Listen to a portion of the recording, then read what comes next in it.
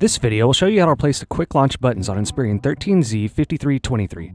Check the links in the description below to find parts for this laptop.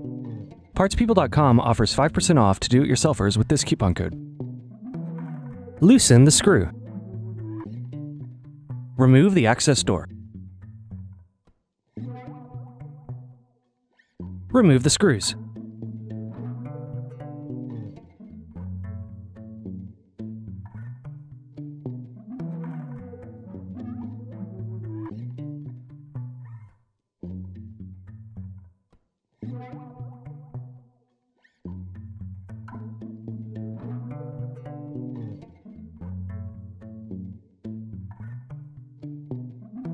Turn the laptop over and open it up.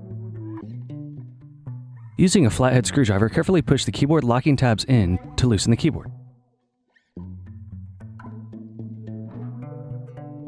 Carefully turn the keyboard over and unplug the keyboard cable.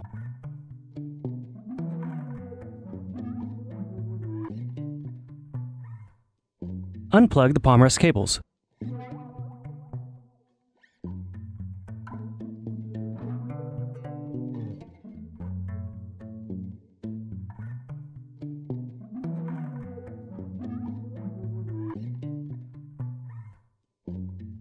Remove the palm rest screws.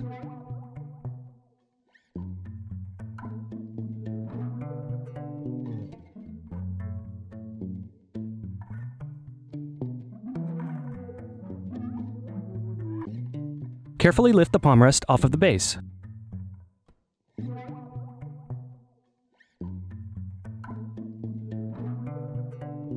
Turn over the palm rest. Remove the screw. Remove the circuit board.